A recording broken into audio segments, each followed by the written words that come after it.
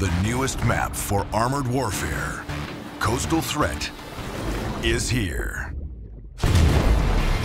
Urban areas create natural conflict zones where main battle tanks brawl at close range.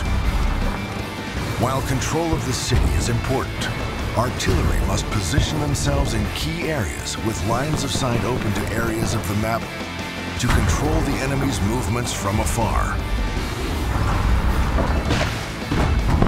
Armored fighting vehicles, strategic use of the cover and natural elements around the edge of the map is crucial for scouting to provide a strategic advantage and prevent the main battle tanks from being flanked. Featuring a range of different environments, from an urban center to a beach and a charred forest, Coastal Threat is a former tourism hotspot that has come upon hard times. Now, it is the newest battlefield for mercenaries looking to make a name for themselves in armored warfare. Battle on the Coastal Threat map now by signing up for Armored Warfare at aw.my.com.